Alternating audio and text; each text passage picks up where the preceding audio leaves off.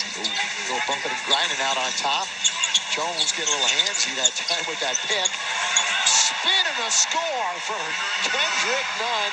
Little big man underneath. Henry just put on a one-man offense that time down. Nunn with 18. LeBron left the game the leading score for the Lakers 23. And actually the leading score in the game with 23 points.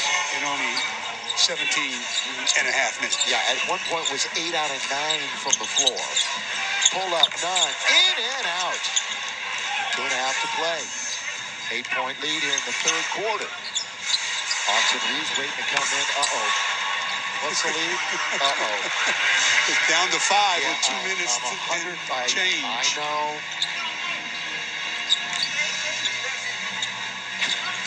Toscano Anderson.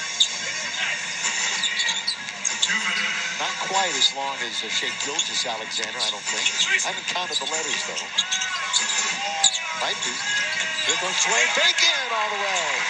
That's a little Yeah, roll. and he was at the top of the key. He looked up, knew the clock was winding down, and made a smart move. Fifth year in the NBA for Dwayne. Get an opportunity here with this team. Lee attacks the lane. So a minute 36 to play in the third.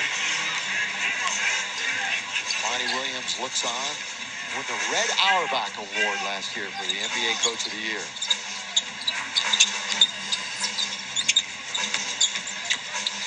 Coming out the other side. Toscano Anderson, ooh, way short. Way short off the window. No, I'm too comfortable on that shot. Shamet with just over a minute to play. TLC. Jones confronts him there. Plenty of time on the shot clock.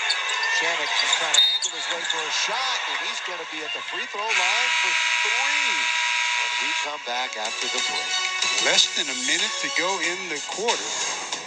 Lakers will be looking at three free throws by the Suns when we come back as they lead 92 87.